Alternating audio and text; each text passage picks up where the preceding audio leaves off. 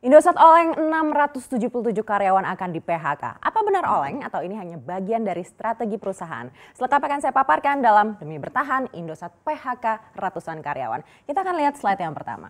Pertama saya akan mengajak Anda untuk melihat pertumbuhan sektor telekomunikasi. Meskipun di 2018 mengalami perlambatan, waktu itu disebabkan karena adanya ketentuan registrasi nomor prabayar. Namun di 2019 sektor telekomunikasi mengalami perbaikan. Data terakhir menunjukkan sektor ini mencatat pertumbuhan tinggi di 2019 hingga 9 41 persen. Berdasarkan data BPS, sektor telekomunikasi juga mampu menyerap angkatan kerja baru hingga 10 ribu orang. Namun ternyata Indosat malah memberikan kejutan di awal tahun 2020 dengan melakukan PHK massal. Jumlah karyawan yang kena PHK adalah 677 karyawan. Lebih dari 500 atau 541 karyawan dan 80 persennya sudah bersedia untuk menerima kompensasi alias pesangon sesuai dengan undang-undang yang berlaku. Nah, grup Indosat ini mempunyai total 3.697 karyawan tetap dan 3.700 karyawan tidak tetap. Dari jumlah tersebut berarti hampir sekitar 9% karyawan di PHK. Di tengah optimisme industri telekomunikasi, bagaimana dengan Indosat? Seperti apa kondisi bisnis Indosat di tahun 2019? Kita akan cek slide berikutnya. Untuk melihat kondisi bisnis telekomunikasi dapat tercermin dari total arus data per pelanggan atau data traffic per subscriber. Dalam data yang dirangkum dari RHB Sekuritas ini, Indosat memperlihatkan performa yang baik, terutama di 2019.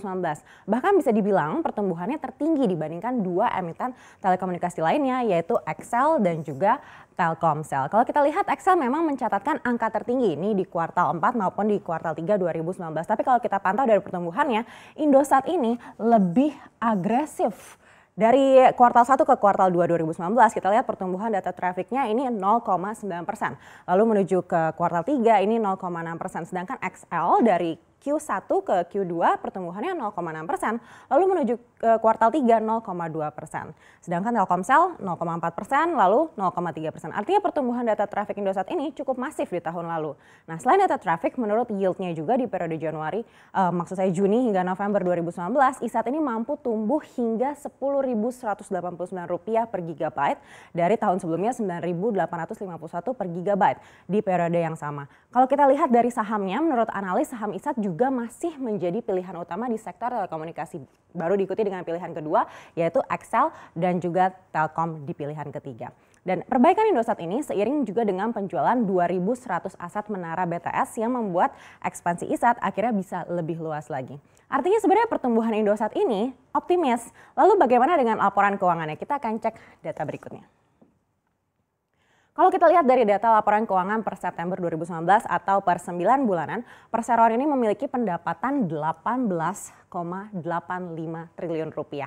Ini naik dari periode yang sama di tahun sebelumnya yaitu 16,77 triliun rupiah. Nah pendapatan terbesar itu dari bisnis seluler dan naik jadi 15,08 triliun rupiah dari sebelumnya 13,18 triliun rupiah.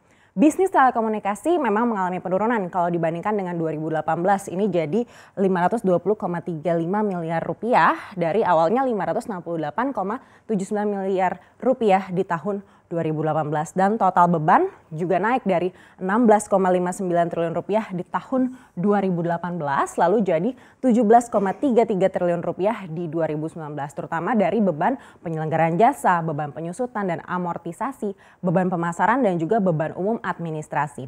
Sehingga total dapat disimpulkan Indosat mengalami rugi bersih 284,59 miliar rupiah di tahun 2019 tapi jumlah kerugian ini menyusut hingga 82 persen dari tahun 2018 yaitu 1,54 triliun rupiah. Artinya lagi-lagi sebenarnya kinerja Indosat di tahun 2019 ini cukup baik.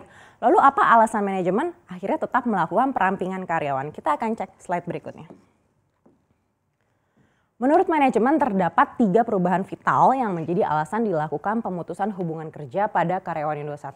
Yang pertama adalah karena fokus Indosat saat ini adalah untuk memperkuat tim regional agar lebih cepat mengambil keputusan dan bisa lebih dekat dengan pelanggan. Yang kedua adalah pengalihan penanganan jaringan ke pihak ketiga atau ke penyedia jasa managed service. Nah, yang ketiga ini adalah right sizing organisasi yaitu memperbaiki size sumber daya manusia. bisa berarti menambah SDM untuk meningkatkan daya saing dan juga merampingkan SDM di beberapa fungsi bisnis seperti yang sudah terjadi saat ini. Dan perusahaan mengambil langkah sesuai dengan ketentuan undang-undang dan katanya juga telah berkomunikasi langsung pada karyawan baik yang terkena PHK ataupun tidak.